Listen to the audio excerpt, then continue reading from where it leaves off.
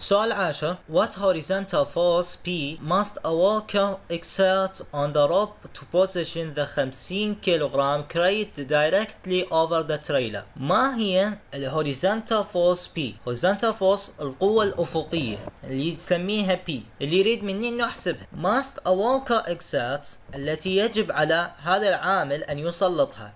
اذا هذا العامل نشوف إلى أنه دا يجر الحبل فهو لما يجره دا يسلط قوة أفقية نحو اليسار. هذه قوة اسمها P.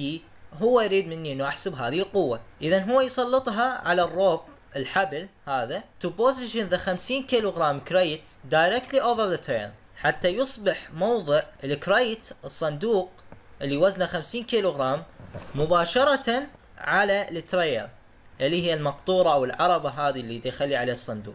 فهو يريد يسحبها نحو اليسار بهالشكل هذا حتى يقعد هذا الصندوق على هذه العربة. إذا أنا راح آخذ ال free body diagram للصندوق. بالنسبة لهذا الصندوق كم قوة مؤثرة عليه؟ أول شيء عندي قوة P نحو اليسار واللي هو طالب مني بالسؤال إنه أحسبها. هذه قوة يسلطها هذا ال worker. وهذا الصندوق له وزن أيضا 50 كيلوغرام في 9.81 فالوزن قوة الأسفل. بالإضافة إلى هذا عندي ال tension T يعني هذا الصندوق توجد قوة ترفعه إلى الأعلى اللي هي قوة ال tension T لكن الخطأ أنه ناخذ هذه القوة بشكل عمودي لأنه هذا الشخص راح يسحب الصندوق إلى هذه المسافه تقريبا يوصل لهذا الموضع بالضبط. لما يوصل لهذا الموضع؟ أنا آخذ له ال free body diagram فمعناها لما نوصل بهذا الموضع هذه النقطه هذه مسافة هي واحد نخليها نفسها وقوة الأسفل W وقوة إلى اليسار P تبقى عندي tension T راح يكون على شكل وتر يعني يكون بشكل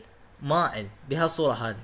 لأنه هو ال worker لما انسحب هذا ال rope الحبل فصار هذا ال tension بشكل مائل بهالصورة هذه. حتى إنه الطول هو معطيني طول عمودي اللي هو طول ال rope 4 متر. لما يجر ال worker يصير عندي هذه الأربعة متر تصير على شكل وتر. فإذا بالنسبة للأطوال فأربعة متر وتر وواحد متر اللي هي هذه مسافة ومثلث قائم الزاوية. لأنه أنا حاخذ هذه قاعدة قائمة وهذا وتر. قوة الأسفل W قوة P إلى اليسار وال tension T قوته تكون بهذا الشكل. يريد مني إنه أحسب ال P أول شيء هذا المثلث ممكن نعيد ترتيب هذه القوة. عندي قوة بهذا الشكل اللي هي قوة ال tension T أو قوة نسميها R أي اسم كان اللي هي بالوتر هذه قوة. وقوة الأسفل اللي هي قوة ال W وزن 50 في 9.81 أو بال pound تعادل ألف قوة الأسفل. وقوة إلى اليسار مقدارها P فهنا راح نستفاد من المثلث القائم الزاوية هذا.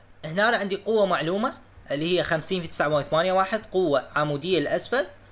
وأنا أريد القوة اللي بال X. لو أخذ هذه الثيتا على سبيل المثال فهذا وتر وهذا مقابل وهذا مجاور. فال tan theta تساوي مقابل على المجاور ال P اللي أنا أريده على ال 50 في 9.81 فمعناها ال P يساوي 50 في 9.81 في tan theta.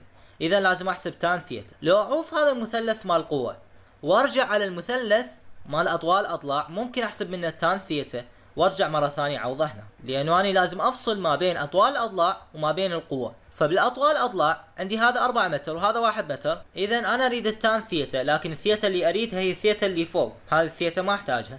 فهذه الثيتا الفوق ال tan مالتها هو مقابل على المجاور هذا. فالواحد على هذا الجذر اللي هو 4 تربيع ناقص 1 تربيع.